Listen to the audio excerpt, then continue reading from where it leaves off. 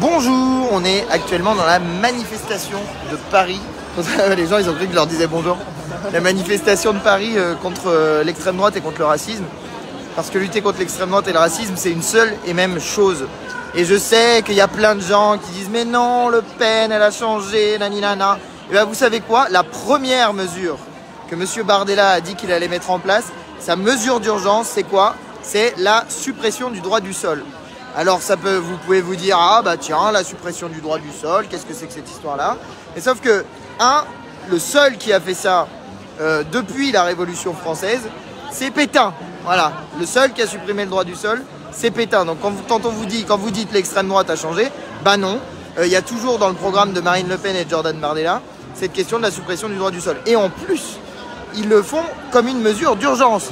Bah nous, excusez-nous, mais euh, vous voyez avec le nouveau Front populaire qu'on a lancé en rassemblant les forces de gauche, euh, que moi j'aurais bien aimé qu'on rassemble dès l'élection européenne, et eh bien avec l'ensemble de ces forces-là, nous on propose comme mesure d'urgence l'augmentation du SMIC à 1600 euros, euh, des négociations euh, sur l'augmentation générale des salaires, parce que oui, c'est possible de faire ça, en changeant le calendrier des négociations par branche, l'abrogation de la retraite de la réforme des retraites de M. Macron qui avait mis des millions et des millions de gens dans la rue, et euh, voilà les, premières mesures sociales qu'on pourra mettre en œuvre avec aussi le blocage des prix. Mais je vous disais au début de la vidéo, lutter contre l'extrême droite et lutter contre le racisme, c'est une seule et même chose. Bah oui, parce que la mesure dont je vous ai parlé, suppression du droit du sol, c'est une mesure qui vise à trier entre les Français, à dire ah bah tiens, il euh, y en a, euh, ils sont pas nés sur le sol de la République française, donc ou plutôt plus exactement quand ils naissent sur le sol de la République française, eh bien ils ne sont pas automatiquement français.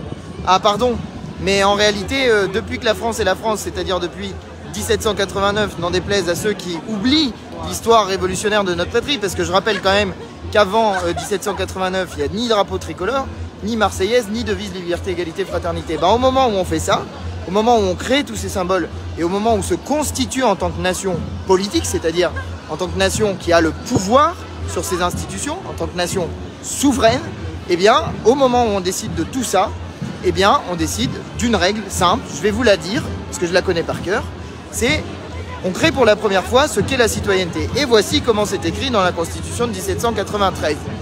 Tout homme, Constitution de la Première République, hein. tout homme né et domicilié en France âgé de 21 ans accompli. Point virgule. Tout étranger âgé de 21 ans accompli qui domicilié en France depuis une année, une seule année, y vit de son travail ou acquiert une propriété ou adopte un enfant ou nourrit un vieillard ou épouse une française, je l'ai pas dit dans l'ordre.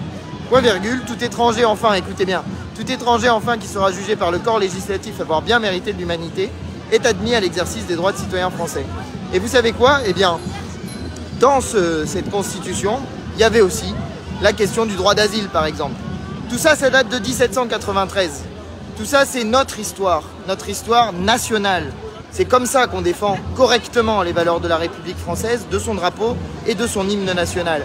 Et donc, le racisme est une trahison de ces valeurs-là. De la même manière que quand on a fait la colonisation, c'était une trahison des valeurs républicaines. Et d'ailleurs, ceux qui défendaient à ce moment-là la colonisation le défendaient en parlant, accrochez-vous, d'inégalité entre les races. Et il y a eu à ce moment-là dans l'Assemblée nationale une personne, on va dire que c'était moi.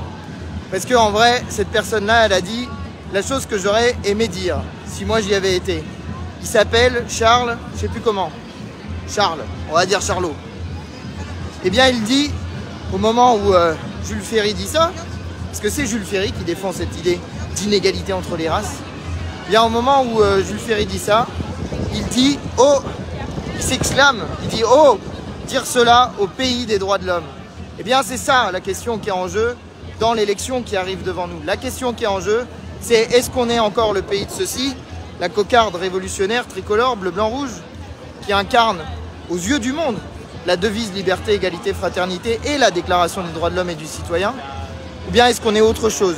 Est-ce qu'on devient autre chose? Est-ce qu'on entre dans cette euh, idée défendue par l'extrême droite qu'il faut diviser les gens en fonction de la religion ou de la couleur de peau? Parce que c'est ça à la fin qu'ils veulent faire. Vous savez, quand ils disent il n'y avait pas de problème avant avec l'immigration parce que c'était une immigration européenne et chrétienne eh bien ils mentent. Parce que, un, il y avait déjà des racistes comme eux. Il y avait déjà des gens qui disaient, par exemple, interdit aux chiens et aux Italiens. Et puis il y avait aussi des gens qui disaient, euh, qui, se battaient avec les immigrés belges. C'est des histoires qui ne sont pas connues. Mais il y avait déjà des gens, à l'époque, qui se plaignaient des immigrés qui arrivaient. Et pourtant, vous qui m'écoutez peut-être, combien il y en a parmi vous qui, comme moi, ont une origine immigrée? Moi, mes, mes arrière-grands-parents, c'était des Belges et des Italiens. Est-ce que ça fait des mauvais patriotes français à la fin? La réponse est non. Et vous savez quoi? Si vous n'arrivez pas à voir que le fait de venir d'un autre endroit que l'Europe, de venir par exemple d'Afrique, ou d'avoir une couleur de peau qui n'est pas la mienne, ou d'avoir une religion qui n'est pas la mienne, eh bien si vous pensez que ça pose un problème pour que les gens aiment leur pays, aiment leur patrie, et soient des patriotes français attachés aux valeurs de la République et de la France, eh bien c'est que vous êtes vous-même peut-être, vous avez quelques questions à vous poser. Parce que vous savez, vous pourrez aller regarder d'ailleurs sur Internet. Moi j'ai fait un discours à Évry où j'ai parlé de tout ça. Et j'ai dit, euh, nous euh, c'est notre pays, on l'aime, on va pas s'en aller, etc. Dans les meetings de l'extrême droite, des fois ils chantent on est chez nous. On est chez nous, ça veut dire euh, on repousse ceux qui arrivent et qui menacent peut-être le fait qu'on soit chez nous. C'est ça l'idée qu'il y a derrière. Et eh bien c'est l'inverse. C'est justement les gens qui sont arrivés par vague et par vague successives d'immigration, parce que là, il parle d'une vague migratoire, mais c'est rien comparé à ce qu'on a connu dans le passé. Hein. Quand il y a eu la guerre d'Espagne, il y en a un sacré nombre de personnes qui sont remontées euh, d'Espagne pour venir s'installer en France. Eh bien, c'est des gens qui, venant de la terre entière, forment ensemble un peuple politique, attaché aux valeurs que je viens de vous décrire, liberté, égalité, fraternité, déclaration des droits de l'homme et du citoyen. Ça, c'est notre identité nationale, parce que notre identité nationale de français, elle est politique. Et pourquoi Le Pen fait ça? Pourquoi Le Pen cherche à diviser sur la base de la religion, de la couleur de peau, etc. Posez-vous la question. Jordan Bardella, il a commencé par dire qu'il allait pas revenir sur la réforme des retraites. Alors, quand c'était avant les élections, il arrêtait pas de dire oui, oui, je vais revenir sur la réforme des retraites, etc. etc. Bah là, maintenant, il n'en parle plus, il veut plus revenir dessus. Posez-vous la question de pourquoi. Ce gars-là, lui aussi, comme M. Macron, il veut faire la politique des patrons. Il veut faire la même chose que M. Macron sur le plan économique protéger les patrons, attaquer les droits des salariés et des ouvriers. Raison pour laquelle, par exemple, ils ne proposent pas l'augmentation des salaires. Contrairement à ce qu'ils disent, parce que ce qu'ils disent, c'est qu'ils veulent baisser les cotisations. Et ça, c'est pas l'augmentation des salaires.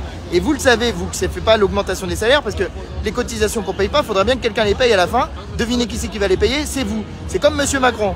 Il fait des cadeaux avec notre argent, donc c'est facile. Hein eh bien, posez-vous la question de l'objectif du racisme dans cette situation. L'objectif profond du racisme, c'est qu'on se regarde les uns les autres, d'abord avec la couleur de peau, d'abord avec ce que les gens ont sur la tête quand leur religion exige d'avoir quelque chose sur la tête, que ce soit une kippa ou un voile. C'est ça que les gens essayent de faire quand ils sont d'extrême droite, nous diviser, qu'on regarde la couleur de peau, qu'on regarde la religion, qu'on regarde d'autres choses que ce que font les gens, que ce qu'ils ont envie de faire. Et ça, ça a toujours été l'objectif de l'extrême droite, diviser le peuple pour mieux régner. Mais quand je dis pour mieux régner, c'est pour que les patrons, pour que les grands patrons règnent mieux. Voilà. C'est ça le, sujet qui est posé dans cette élection. Donc, le 30 juin et le 7 juillet, vous avez un choix à faire. Et ce choix-là, c'est un choix qui parle de notre pays. Bien sûr, ça parle de ce qu'on va faire politiquement, de, des questions de pouvoir d'achat, tout ça, ça en parle. Et justement, je vous ai dit quelles étaient les grandes mesures de notre programme. Mais ça parle aussi, et peut-être surtout, de ce qu'est notre peuple, de ce qu'est notre pays, de ce qu'est notre patrie et de ce qu'on veut en faire tout ensemble.